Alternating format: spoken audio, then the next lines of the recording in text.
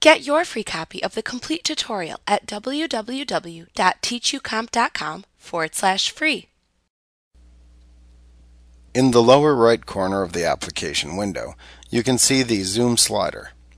You can use this to change the magnification level of the workbook.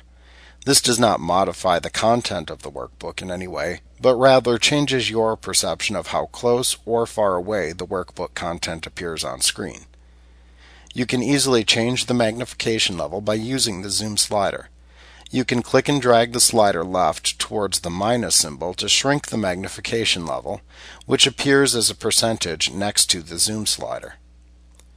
You can also click and drag the slider to the right or towards the plus sign to increase your magnification level. You can also change the magnification using the settings available in the Zoom dialog box.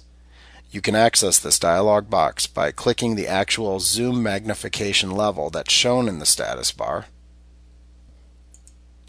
or by clicking the View tab within the ribbon, and then clicking the Zoom button that appears within the Zoom button group. Also note that you have a few other common zoom magnification levels shown in the Zoom button group within the ribbon that you can click in order to change the on-screen magnification.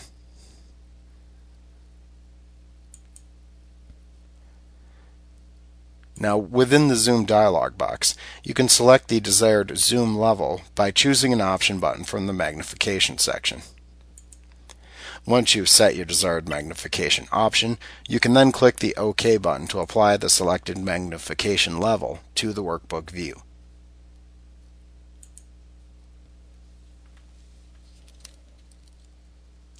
Like what you see? Pick up your free copy of the complete tutorial at www.teachucomp.com forward slash free.